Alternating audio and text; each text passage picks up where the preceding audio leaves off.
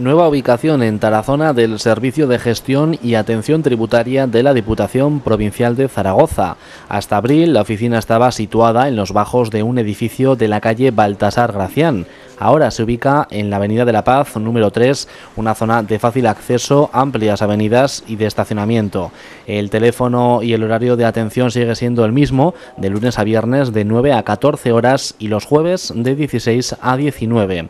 Este servicio integra la estructura organizativa de que se ha dotado la Diputación para la prestación de un servicio integral de gestión de los tributos y de otros ingresos de derecho público, titularidad de los ayuntamientos de la provincia. La de Tarazona concentra la atención a un buen número de municipios, Agón, Ainzón, Alberite de San Juan, Albeta, Alcalá de Moncayo, Ambel, Añón de Moncayo, Visimbre, Borja, Bulbuente, Bureta, El Buste, Los Fallos, Frescano, Fuentejalón, Grisel, Lituénigo, Magallón, Maleján, Mayén, Malón, Novallas, Novillas, Pozuelo de Aragón, San Martín de Moncayo, Santa Cruz de Moncayo, Tabuenca, Talamantes, Tarazona, Torrellas, Trasmoz, Vera de Moncayo y Bierlas.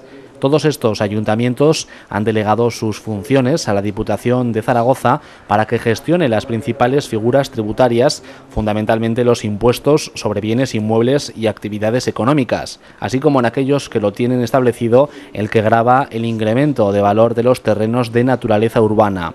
El grado de satisfacción del ejercicio de las delegaciones es muy alto, pues el porcentaje medio de recaudación total supera en más de tres puntos porcentuales la media ya muy alta de la ratio provincial.